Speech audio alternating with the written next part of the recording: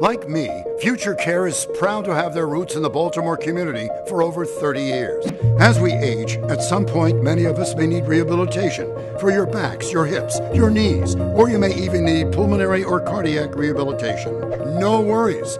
Future Care's Vital Strong Rehabilitation has state of the art equipment and specially trained therapists right in your neighborhood. Future Care will customize a treatment plan for you.